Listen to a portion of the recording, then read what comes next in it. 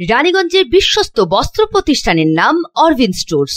এখানে পুরুষদের জন্য থাকছে নামি দামি ব্র্যান্ডের cut piece formal, casual and ethnic wear all types of collections available এছাড়াও পাবেন পুরুষদের জন্য যে কোনো ধরনের রেডিমেড পোশাক। থাকছে বিভিন্ন ধরনের অ্যাসেসারিজ শুধু তাই নয়, থাকছে আপনার পছন্দ মতো টেলারিং সার্ভিস আজই আসুন অরবিন্দ স্টোর্স, এনএসবি রোড, তার Bangla opposite Ashoka petrol pump, Raniganj phone number seven three one nine five double six five nine one.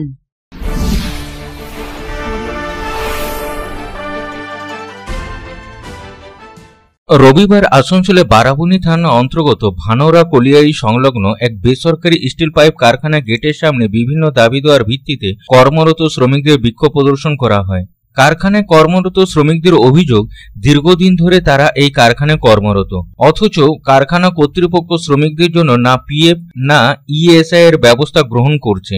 দীর্ঘদিন কাজ করার পরও কারখানা কর্তৃপক্ষ কোনো বেতন বাড়ানোর সিদ্ধান্ত নেয়নি। বারবার কারখানা কর্তৃপক্ষকে বলা হলো, তারা এই বিষয়ে টালবাহানা করছে।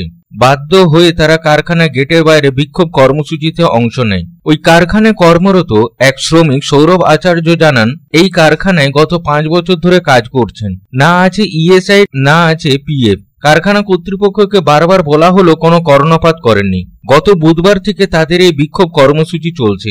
প্রায় পঞ্চাশ থেকে পঞ্চান্ন জন শ্রমিক এখানে কর্মরত। কারখানায় দূষণের কারণে বিভিন্ন রোগেরও সৃষ্টি হচ্ছে। কাজ করছি, আমার সাড়ে পাঁচ বছর হয়ে গেছে। আপনাদেরকে পিএ পিএসআই দেওয়া হয়? দেওয়া হয়নি। আপনারা বলেছিলেন পিএ হ্যাঁ, পিএসআই জন্য? মালিককে বলেছিলাম যারানটা ঢুকেছিলাম নেতাকে তাকেও বলেছিলাম। আমাদের কথা কেউ গ্রাহ্য করেনি। তো সেই আমরা আমাদের কথা এক কানে শুনে এক কানে বার করে নেই। এই নেতা নেত্রী কাউকে বলেছেন? এখন এখন আমরা কারোকে বলিনি। আমরা নিজে মালিককে বলেছিলাম মালিক আমাদের কথা কোনো শোনেনি। সেই জন্য আমরা এই অ্যাকশনটা নিয়েছি। কদিন ধরে এখানে আপনারা আন্দোলন করছেন? আমরা কাল থেকে আন্দোলন করছি। কাল না বুধবার থেকে? বুধবার থেকে ফ্যাক্টরি বন্ধ করা হয়েছিল। কালকর থেকে আমরা মালিককে জানিয়েছিলাম মালিক আমাদের কোনো কথা শুনলো না। আসছে গাড়ি নিয়ে চলে যাচ্ছে।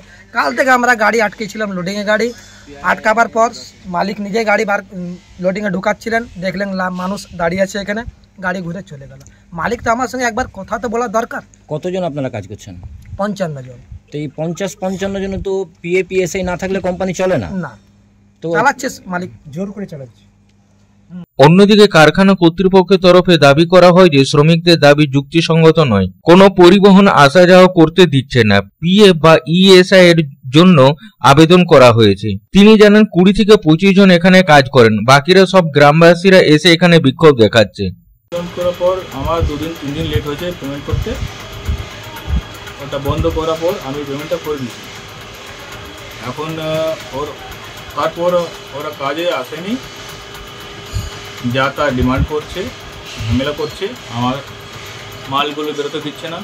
পাঁচ তারিখে আমার ব্যাংক এমএ আছে সেটা ফেল হয়ে গেছে। আর আমি তো দুদিন থেকে ফেঁসে আছি। কতজন কাজ করে আপনার এখানে? কুড়ি পঁচিশ জন আছে। বলছে পঞ্চান্ন জন। গুনেন কটা আছে। কে কে এসছে। গায়ের লোক আছে না কে আছে? সব রকম আছে। তো ও পিএ পিএসআই আছে আপনার? হ্যাঁ এবার অ্যাপ্লাই হয়েছে। না এতদিন ধরে চালাচ্ছেন নেই পিএ পিএসআই অ্যাপ্লাই হয়ে গেছে। অ্যাপ্লাই নয় আপনার আছে কি নেই? অ্যাপ্লাই হয়ে গেছে। এবার এই মোটামুটি বাইশ তারিখ থেকে স্টার্ট হয়ে যাবে এতদিন ধরে পিএ পিএসআই ছিল কি ছিল না? আছে। পিএ পিএসআই পায় লেবাররা একটু দেখাতে পারবেন?